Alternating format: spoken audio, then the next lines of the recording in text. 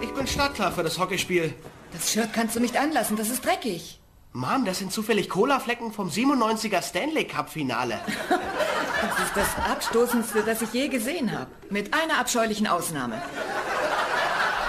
Sind das etwa Blutflecken? Oh ja. Ja, da hat Iserman sein Puck an Dads Kinn abprallen lassen. Zweimal.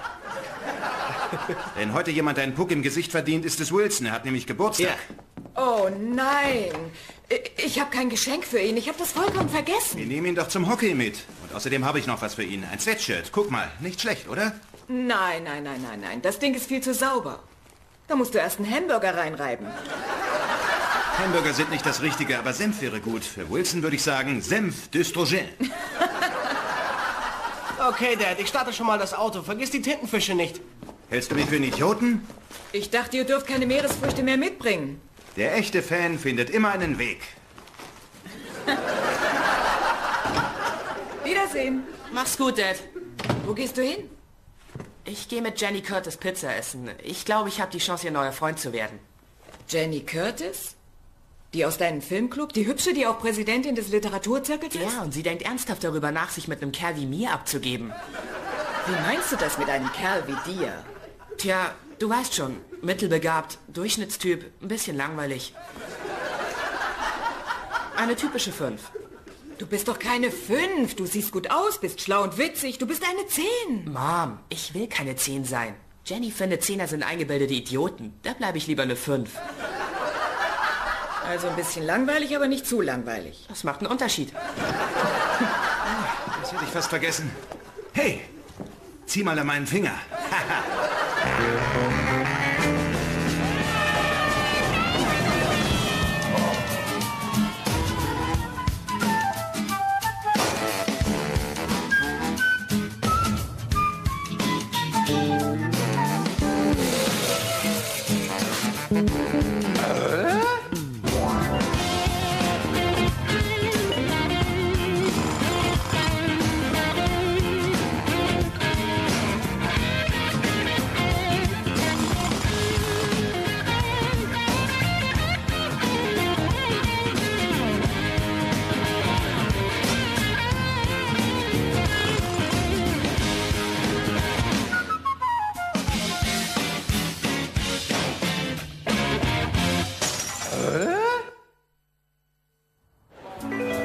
Tim, die Plätze sind klasse. Danke. Ein großartiges Geburtstagsgeschenk. Nochmals alles Gute, Wilson.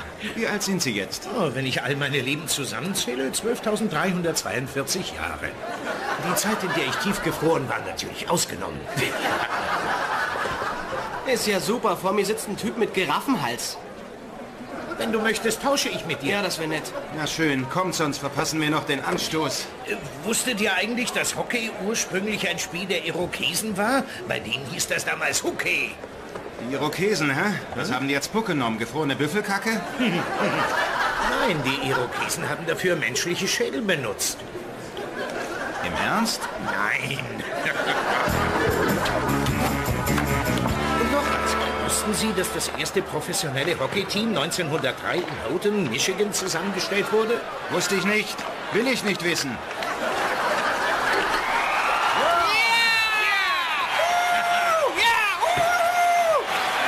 Ja! Darf ich euch mit meinem kleinen Freund bekannt machen? Welcher Idiot hat das geworfen? Das war keine Absicht. Es tut mir furchtbar leid. Oh, oh, ist schon gut. Ich bin selbst schuld gewesen, weil ich im Weg war. Hey, hey, Augenblick mal. Das Spiel ist da vorne. Okay, Red Wings-Fans, das Ende des ersten Drittels ist erreicht. Wir kommen jetzt zu unserem Überraschungspreis. Genau. Sie sind wohl mächtig gespannt auf den Preis. Der Preis ist mir völlig egal. Jetzt kommt mein Lieblingsgerät. Der Platz des Gewinners ist in Sektion 12, Reihe 8, Sitz Nummer 21. So ein Mist. Wilson, das ist Ihr Platz. Heiliger Vater, das ist wirklich mein Platz.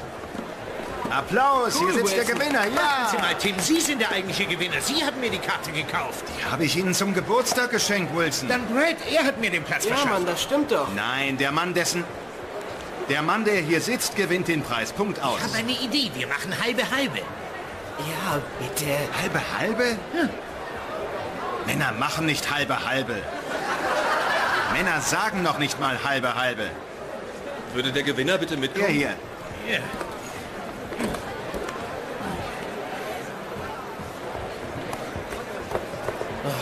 Mann, das glaube ich einfach nicht.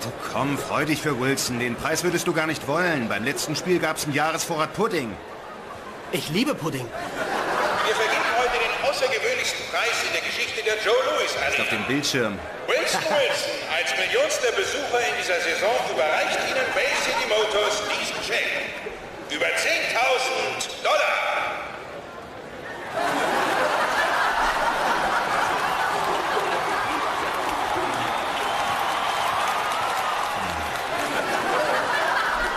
Zehntausend Dollar.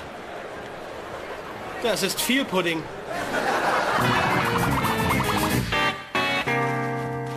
Hi! Na, wie war's mit Jenny? Furchtbar. Edward Meany war auch in der Pizzeria. Jenny steht auf ihn, glaube ich. Und warum? Der Typ war immer eine gut aussehende 10. Aber jetzt hat er schlechte Haut, eine Zahnspange und ist im Radioclub. Er ist eine 5 und ich bin erledigt. Hallo Jungs, wie war das Spiel? Tja, die Wings haben verloren, aber Wilson hat gewonnen. Den besten Preis, den es je gab. 10.000 Dollar. Wilson hat wirklich 10.000 Dollar gewonnen? Das kann ich einfach nicht Weißt du, glauben. was ich nicht glauben kann? Ich habe seine Karte gezahlt. Was ich nicht glauben kann, ist, dass das eigentlich mein Platz war. Und er wird das gesamte Geld behalten? Ja, weil Dad behauptet hat, halbe halbe zu machen wäre unmännlich. Da habe ich noch gedacht, der Preis wäre Pudding. Ich stehe auf Pudding.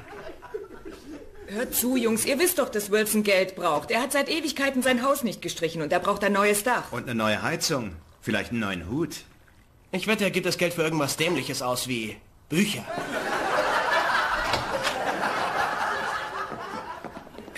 Hallo, meine Lieben. Stellen Sie sich vor, Tim. Als ich nach Hause gekommen bin, ist mir eine Eingebung wie ein Blitz durch den Leib gefahren. Das war wohl eher die Zuckerwatte, die ihm durch den Leib gefahren ist. Nein, ich habe meine unzähligen Gartenzeitschriften vor mir gesehen. Und da ist mir eine tolle Idee gekommen, was ich mit meinem unverhofften Vermögen anfange. Außer natürlich, Sie haben sich's anders überlegt. Halbe, halbe. Ich habe tatsächlich noch mal Nein. darüber... Nein. Alles Gute zum Geburtstag, Wilson. Oh, Jill. Wünschen Sie sich was? Oh, vielen Dank. Ja. oh, oh, vielen Dank. Also, was werden Sie mit dem vielen Geld anfangen? Wissen Sie, ich habe mir überlegt, anstatt Pflanzen zu kaufen, werde ich sie in Zukunft selbst anbauen. Sie wollen selbst anbauen? Brad, du gehst da nicht mehr rüber. Nein, doch nicht Marihuana. Ich habe mein ganzes Leben lang davon geträumt, mir ein eigenes Gewächshaus zu bauen. Und dieses Geld gibt mir die Möglichkeit dazu. Ein Gewächshaus? Das ist eine tolle Idee. Das ist wirklich eine tolle Idee. Wisst ihr wieso? Wieso? Wir suchen nach einem Frühjahrsprojekt für Tooltime. Wir könnten es gestalten und bauen. Tim, das wäre ja fantastisch. Sie werfen das viele Geld wirklich für ein Gewächshaus raus? Aber sicher, da kann ich anbauen, was immer ich will. Etwa auch Pudding? Wie heißt die beste Heimwerkersendung der Welt? Tooltime! Binford präsentiert Ihnen Tim Taylor, den Heimwerkerkönig.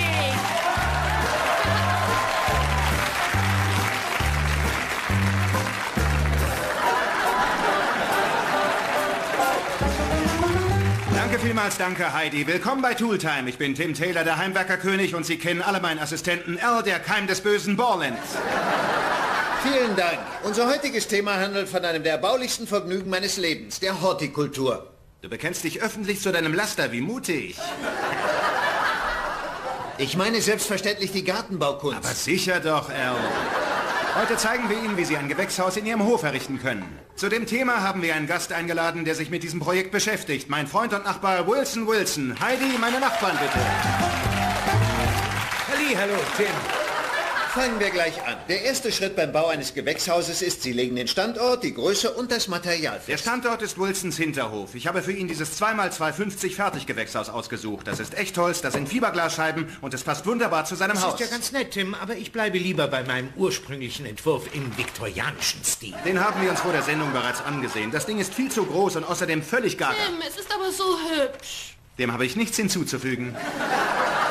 Das ist mehr als hübsch, wirklich. Sieh dir das an. Stahl, echte Glasfenster, dann die Holzrahmen.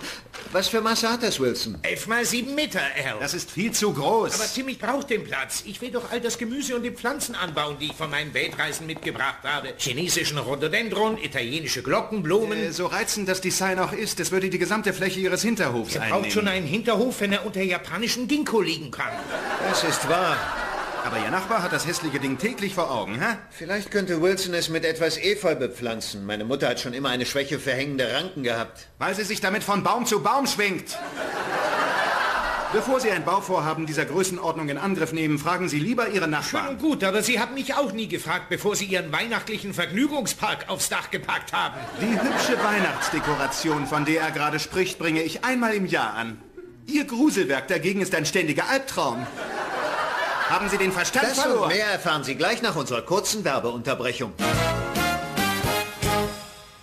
Sie können das Ding nicht einfach in Ihren Hof stellen. Es gibt Vorschriften. Sie brauchen eine Baugenehmigung. Das stimmt nicht. Solange er einen Abstand von eineinhalb Metern zwischen den beiden Grundstücken lässt, dürfte die Genehmigung kein Problem sein. Ich arbeite Teilzeit beim Bauamt.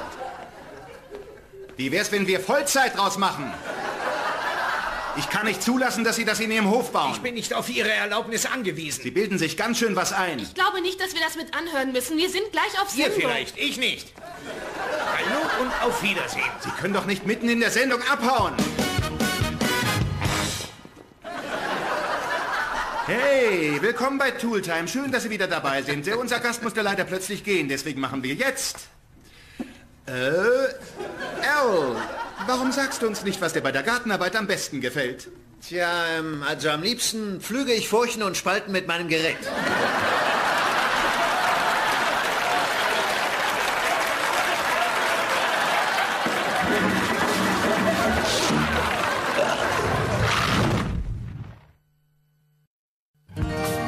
Mom, wann gibt's Essen? Ich hab Hunger. Gleich in ein paar Minuten. Und wie geht's dir? Gut. Edward hat jetzt Kontaktlinsen und einen neuen Haarschnitt. Der Typ sieht echt gut aus. Gibt es vielleicht irgendwas, das du mir sagen willst? Nein, nein. Edward ist wieder eine 10, also steht Jenny nicht mehr auf ihn.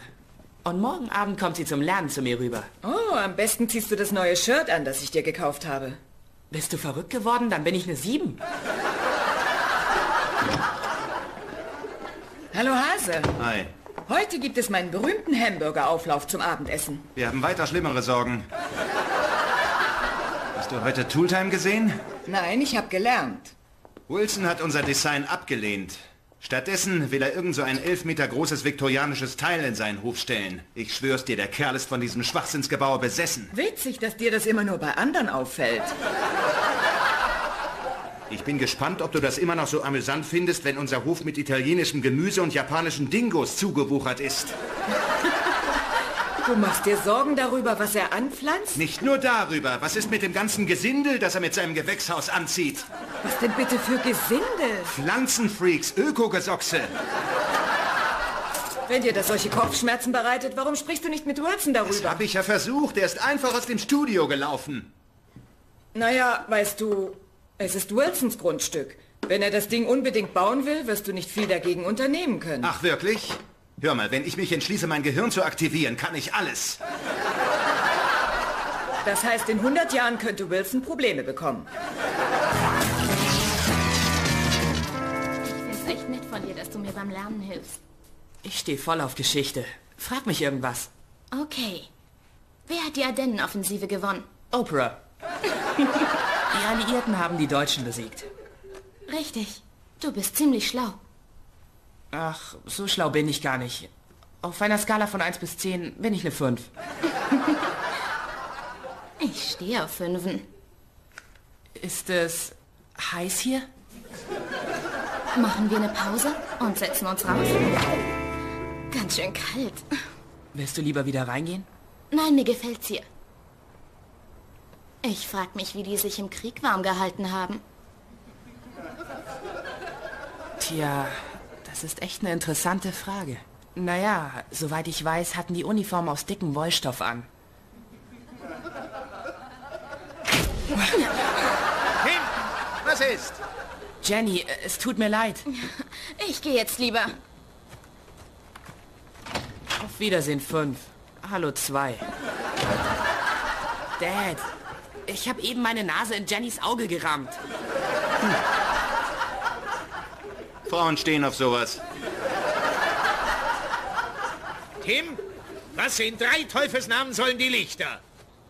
Welche Lichter? Diese blindmachenden Halogenmonster. Oh, ach die. Die habe ich aus dem Studio. Ich probiere ein neues Lichtsystem Sie aus. wissen doch ganz genau, dass das Licht meine Pflanzen ruiniert. Im Ernst? Ständige Beleuchtung verursacht Photoperiodizität. Meine Pflanzen brauchen eine Dunkelphase von zwölf Stunden, um zu erblühen. Tatsächlich? Ich kann nicht fassen, dass Sie sich wegen eines Gewächshauses so anstellen. Wilson, erlauben Sie mal, das Design war vollkommen daneben. Sogar selbst die Skizze war doch ein schlechter Witz. Die Skizze war ein Witz? Ja. Nein, nein, nein, Tim. Sie und Ihre lächerlichen Leuchtkörper, das ist ein Witz. Tut mir leid, wenn sie nicht passt, aber das ist mein Hof. Ich kann hier so viel leuchten, wie ich Und will. das ist mein Hof. Dann stelle ich eben einen Reflektor auf und schicke das Licht zurück. Schon mal was von Gesetzen gehört? Ich hole mir eine Genehmigung. Dann hole ich mir eine Genehmigung für eine stärkere Dann hole Beleuchtung. ich mir eine Genehmigung für einen höheren Zaun. Dann haben Sie ja eine Menge zu tun. Fein. Fein.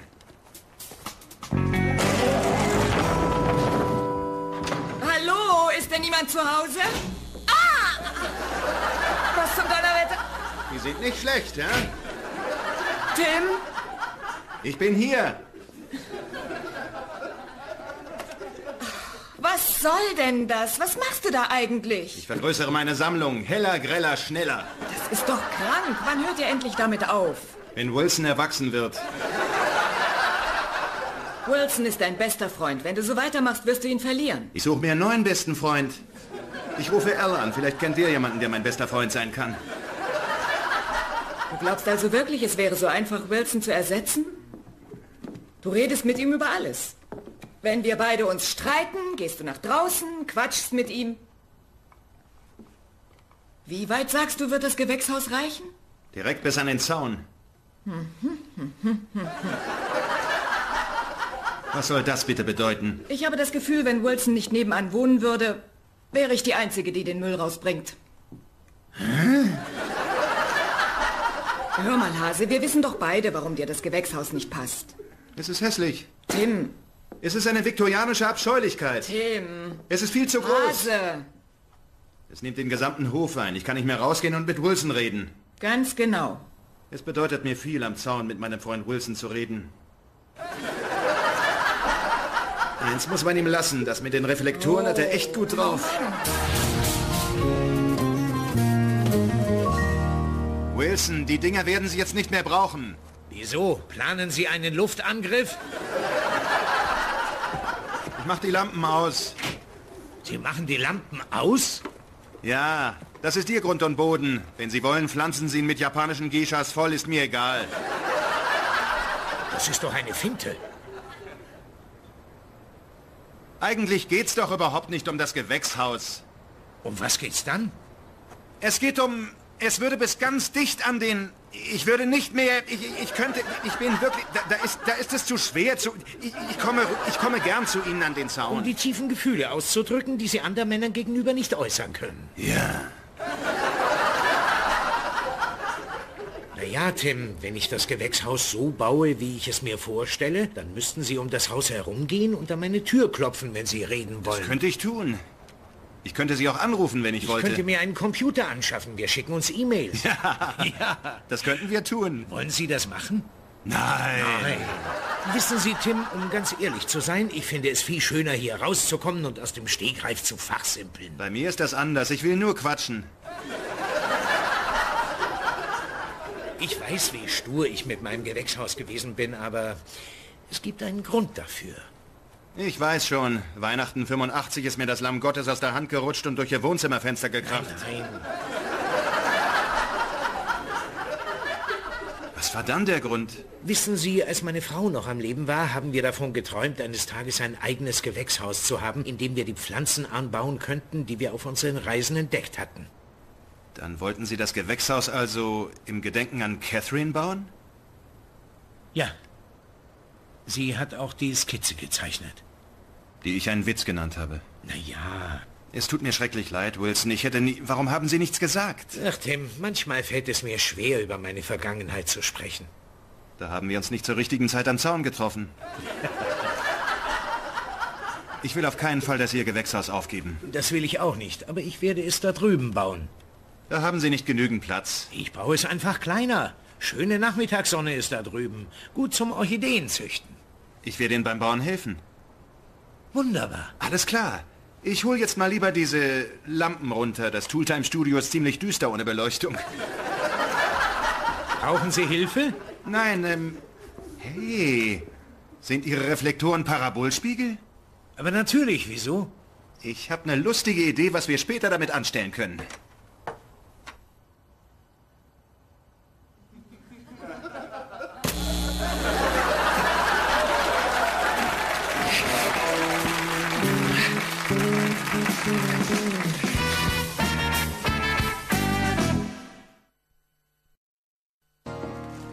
Morgen, Wilson. Hallöchen, Tim. Ich bin so froh, dass wir allen Ärger beseitigt haben. Ich auch. Jetzt können wir wieder zum Zaun kommen und ein Schwätzchen halten. Ja, zum Zaun kommen und ein Schwätzchen halten. Haben Sie etwas auf dem Herzen, Tim? Nein, ich glaube nicht. Haben Sie vielleicht eine Anekdote auf Lager oder ein Zitat? Nein, im Moment nicht. Hm. Oder vielleicht erinnert Sie die Situation an jemanden, den Sie kennen oder an eine Geschichte, die Sie erlebt haben. Mir fällt nichts ein. Nein. Tja, na dann. Ich werfe nur den Müll weg. Tja, und ich gehe wieder Eichhörnchen präparieren für den St. Patrick's Day. Ich gehe später Borland ärgern. Kommen Sie mit? Na klar.